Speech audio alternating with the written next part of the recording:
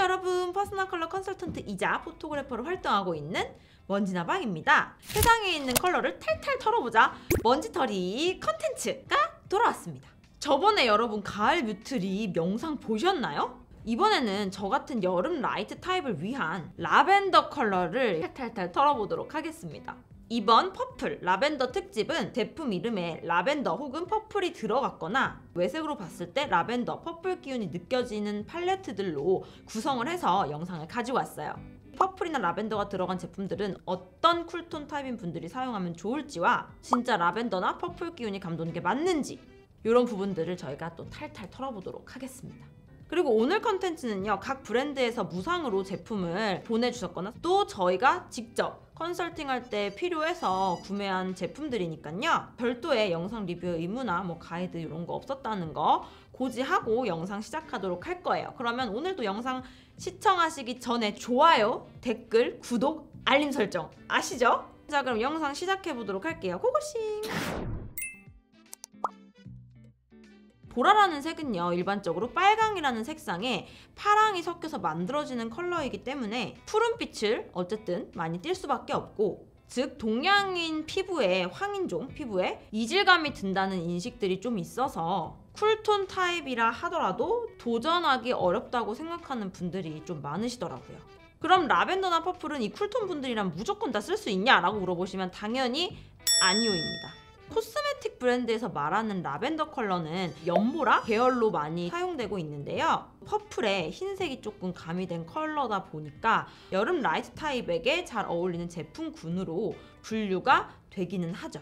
대신에 되게 완연한 그런 스펙트럼을 가진 여름 타입에게 어울릴 만한 그런 제품들입니다. 오늘도 역시나 제품들을 하나씩 뭐 테스트해보고 발색해보고 측색까지 다 완료를 한 상태고 평균적인 케이스를 기점으로 항상 발색은 설명드린다는 거 이 부분 잊지 마세요.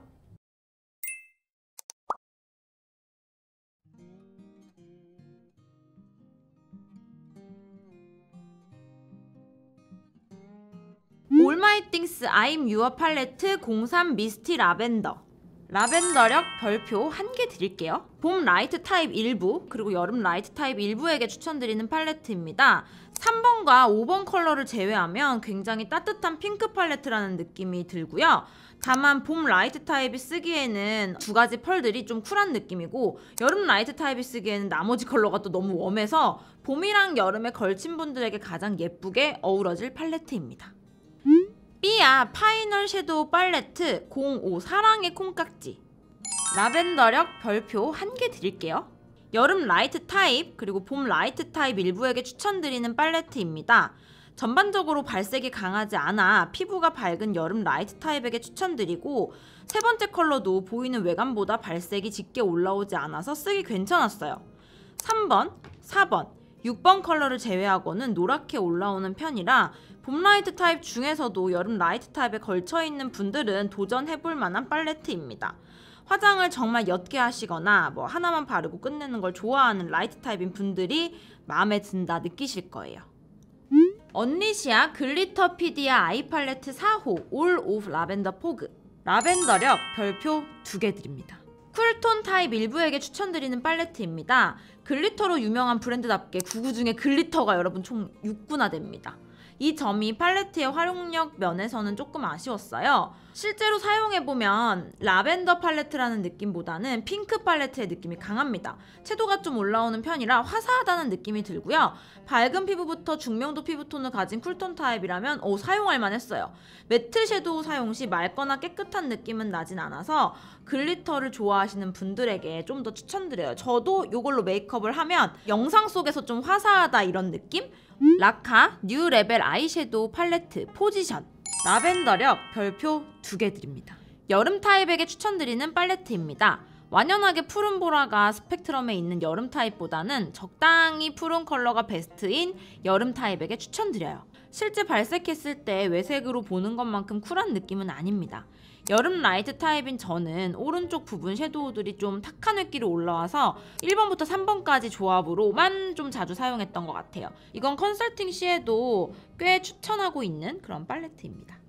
롬앤 베러 댄 아이즈 말린 제비꽃 라벤더력 별 3개 여름 mute 타입 그리고 겨울 dark 타입에게 추천드리는 팔레트입니다. 여름 타입이나 겨울 bright 타입이 바르기에는 어둡거나 좀 탁한 느낌이 들기 때문에 여름 mute 타입 그리고 겨울 dark 타입인 분들에게 추천드리고요. 입큰 퍼스널 무드 팔레트 플레인 윈터 라벤더력 별 3개 드릴게요. 겨울 타입에게 추천드리는 팔레트입니다. 제가 만든 팔레트죠. 라벤더라기보다는 cool 컬러 회보라 음영에 가깝습니다. 겨울 bright 타입에게는 1번, 4번, 3번 조합을 추천드리고요. 겨울 dark 타입에게는 2번, 3번, 5번 조합을 추천드립니다.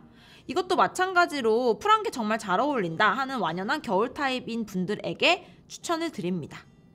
어뮤즈 아이 비건 쉬어 팔레트 04호 라벤더 라벤더력 별 4개입니다. 요거 여름 light 타입한테 추천드리는 팔레트입니다. 전반적으로 엄청 cool한 느낌이 들지는 않는데요. 4번 컬러를 사용하면 cool한 느낌이 많이 나서 여름 light 타입에게 추천을 드립니다.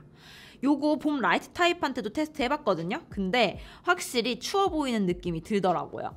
클리오 프로 아이 팔레트 14호 한남동 아뜰리에 라벤더력 별 4개 드립니다. 여름 타입 일부, 겨울 타입 일부에게 추천드리는 팔레트입니다. 공식 홈페이지에서는 bright pink mauve makeup이라고 하는데 이게 bright한 느낌이 아니라 회빛이 감도는 핑크, 보라 이런 느낌이라고 보시면 될 것 같아요. 22호 피부를 가진 네, 여름 light 타입인 저는 2번, 5번, 8번, 10번 정도만 딱 사용해 줍니다.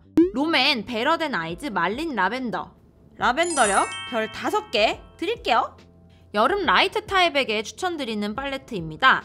이건 진짜 라벤더력 뿜뿜이에요. 라벤더가 베스트 스펙트럼에 있는 정말 쿨한 게 잘 받는 여름 라이트 타입에게 추천드리는 팔레트로 이거 중에서 제가 이제 두 번째 컬러 있죠. 이거 쓰면은 7080 스타가 되거든요. 저한테는. 그래가지고 저는 이거를 섀도우로 쓰는 것보다는 1, 2번 컬러를 믹스해서 블러셔로 써주고 있고요. 섀도우로 쓸 때는 2번 컬러 빼고 사용해 주기는 합니다.